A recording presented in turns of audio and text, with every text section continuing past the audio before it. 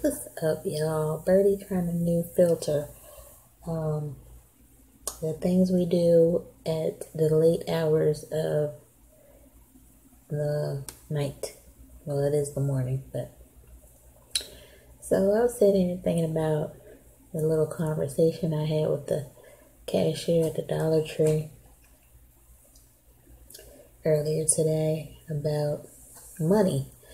Um, he was ringing up my stuff and he saw these um I had some chicken nuggets and chicken strips and some chicken patties and some were mild, some were spicy.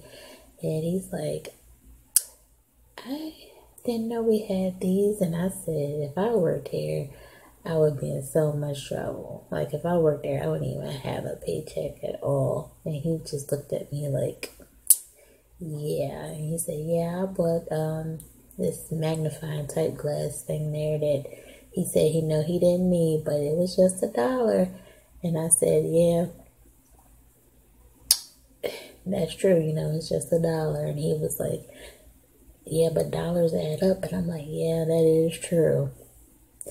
And it got me thinking to what a rich person's mindset would be like. Um, they say, yeah, it's just a dollar, but dollars do add up. So that's how I think the rich stay rich and the broke people like us stay broke because we're like, oh, it's just a dollar, but that dollar is adding up and adding up and adding up. And I was just thinking a lot of times I try to focus on what we need instead of what we all may want. Um, a lot of times, you know, you buy things and you end up having a 10 of the same things.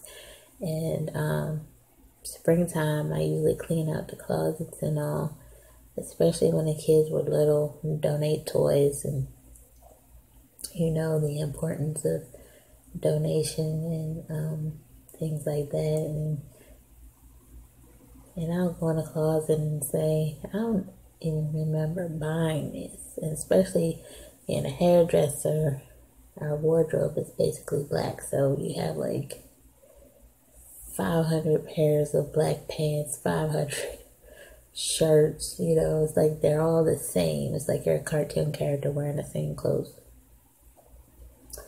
Um, yeah, basically that's all I wanted to say. I was just thinking about that. I think, you know, when you're broke or when you, you're lower income and you look at something, especially in a dollar store or Walmart or whatever, you're like, oh, it's only a dollar, it's only such and such and such.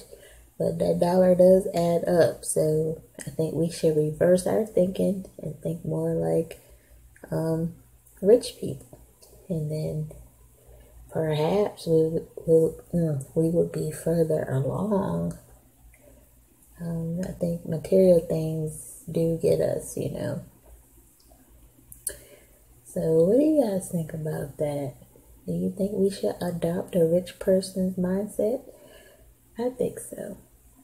And hopefully, I will have some money one day. And hopefully, you know,